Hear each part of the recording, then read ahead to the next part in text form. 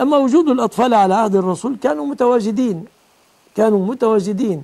لكن هناك فارق بين تواجد يفسد الصلاة على الناس على المصلين وتواجد يتحمل